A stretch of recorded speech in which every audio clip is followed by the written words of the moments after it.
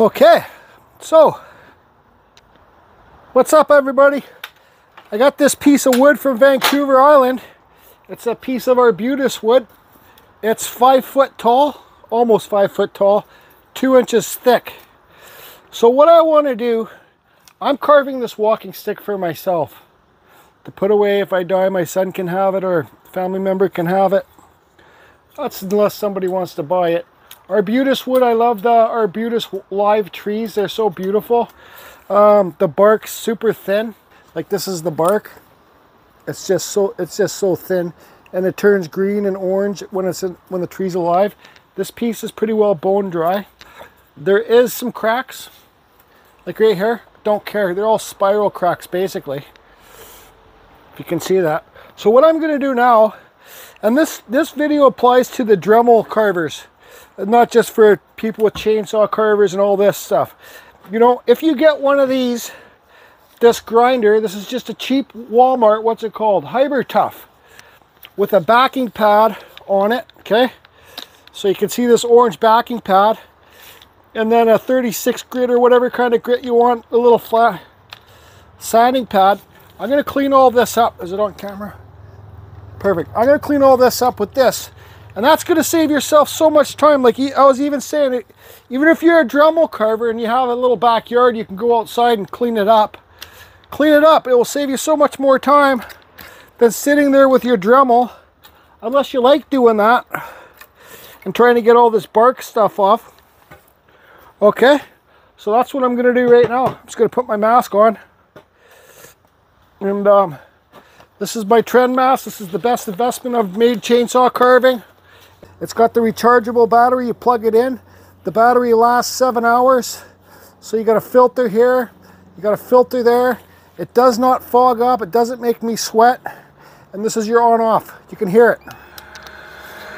You hear the fan running? Okay, so that's what I'm going to use.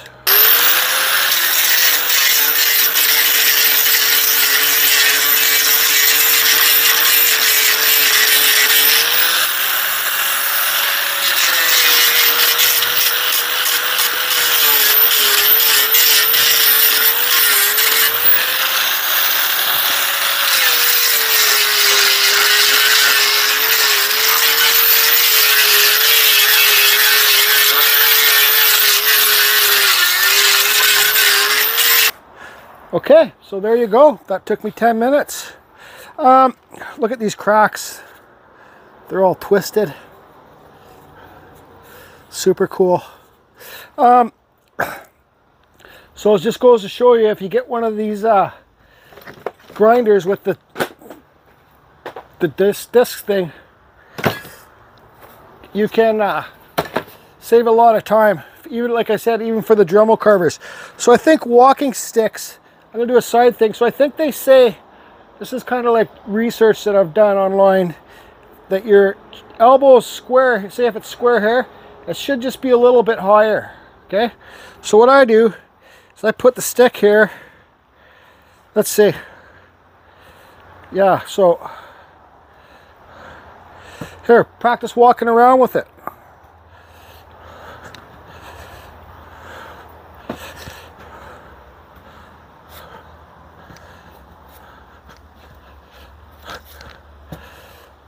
I think, uh, here, practice more. Make sure. And, and let it sit on the floor and see where it's going to spin to. I think that's perfect right there. So what I'm going to do is go like this. And like this. That's common knowledge. I'm sure you guys can figure it out. But some people don't know. Some people have never done woodworking, right? So there, that's where my handle's going to be. Right here. Or should it be here? Yeah, maybe it should be higher. Okay, so put some scratches there. And right here. Now, you can still use this. You can still use this. Put your mask on and go like this and turn the stick and just remove the wood. It's so much faster than just sitting there with your Dremel, you know? I don't know, you gotta get, you gotta go outdoors and enjoy the sun. I'm in the shade the sweat tent, but you know what I mean. So I'm gonna do that. We'll, I'll show you, and then we'll hit it time lapse.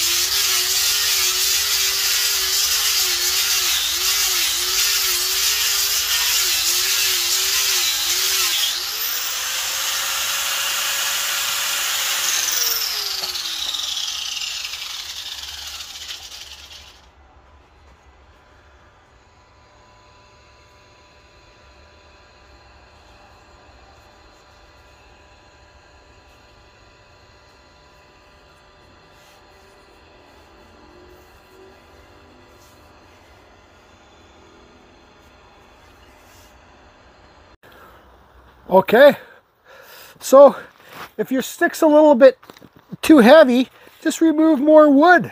If it's too tall, just take some wood off the bottom and thin it out. So now I'm ready to do some detail carving on here, if I even want to. But yeah, I might as well carve, what am I going to carve in it? I got Dremels here, I might as well carve a little wood spirit. I got lots of uh, tutorials how to carve wood spirits the way I do. So how about I carve this guy um, just like this, but I won't film. And I'll show you guys how, I, how I'm going to do with these cracks this time. I'm going to paint it, then sand it. So those cracks are really black. Okay, carry on. So I got a Dremel 4300 here. 4300, no flex shaft. I haven't shows my, showed myself using this Manpa cutter too often. But here's a little Manpa cutter. It's got three cutters on there. These things work awesome. I got, this is the round one. And then I got the sharp one, like so the cutters are sharp. But yeah, so it's kind of dirty. But um, what I'm to do is I got the wood spirit drawn out up here. So it's face, like let your stick sit on the ground, see which way it rolls. And wherever it rolls, carve your, like so it sits, so it's comfortable to use when you're walking, right? Does that make sense? Find the good spot. the good spot, that's your spot. Then carve, say if this was your good spot, carve whatever you, flowers or whatever you wanted to do here, or leaves. Okay, but I'm gonna just quickly outline this, take off this uh, wood with this um, 4300 Dremel and this uh, Manpa cutter. Okay, they work. They got them 1 8th cutters for the Dremel, and they got quarter inch for the die grinders in your Foredom. And to get these tools, just go to just Google Manpa tools.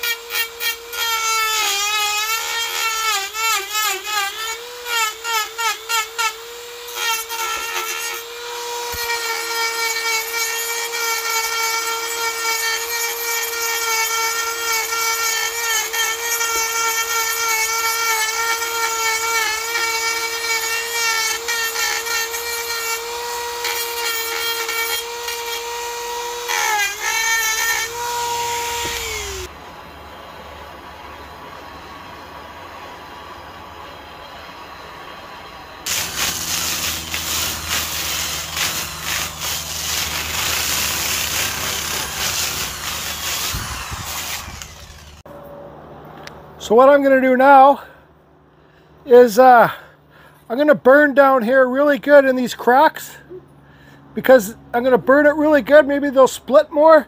Then I'm going to resand this whole thing and then she's done. Haha, yep.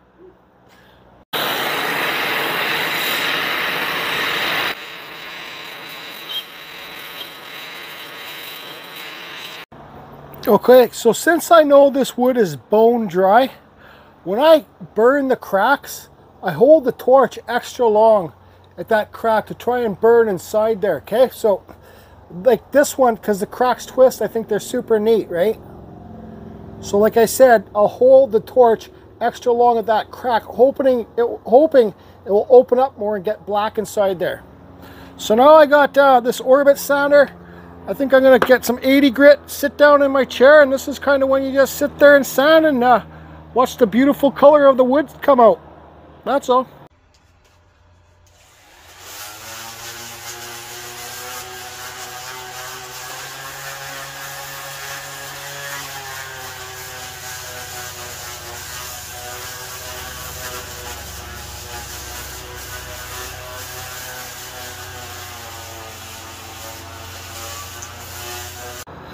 Okay, so here you go. Don't forget to sign your pieces. There's a wood spirit face up there. There's your handle. I did uh, drill a hole right through to put a, string in there. So you put your hand through the string your hand can rest on there. This is a walking stick for a big man. It's not a small little petite one. Now look at those cracks. See how cool those look? I think they look cool anyways. Um, that's oil from the compressor those splats. So I gotta sand some more. I didn't sand all the black off I left some on. And uh, what I'm gonna do quickly is I gotta pull up my sander again sand this oil spots off. Sorry my camera died.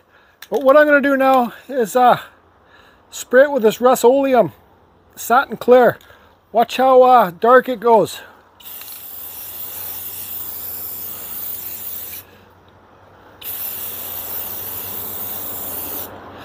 Let's see those cracks.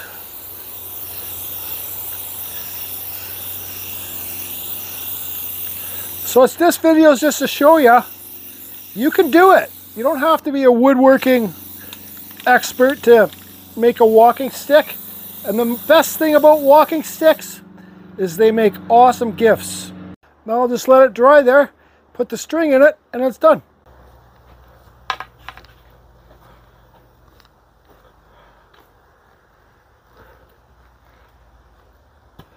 So here you go. There's a wood spirit walking stick. See that hole that I said I drilled? I don't know if I said I drilled it. But I just got a rope, put the rope through, tied a knot, and then that's your handle for your... Sometimes they do it the other way, but it can hold the weight, right?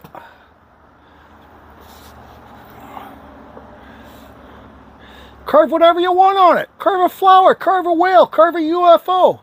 Carve it, just carve Rob. I just carve Rob. Carve a Ben Studio on the lake. Curve whatever you want. It just shows you. It's easy to do and anybody can do it. That looks like my signature there for a second. Have fun everybody.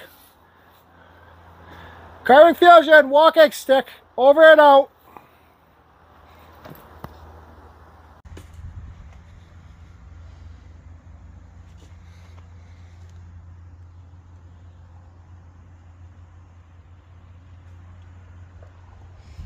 Come here, grasshopper.